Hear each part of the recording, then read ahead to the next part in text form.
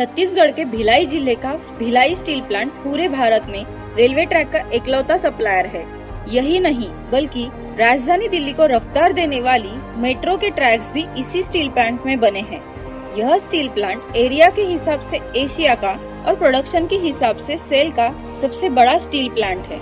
इसे 11 बार best integrated steel plant of India का दर्जा मिला है और इसलिए इसे 11 बार प्रधानमंत्री ट्रॉफी भी मिली है।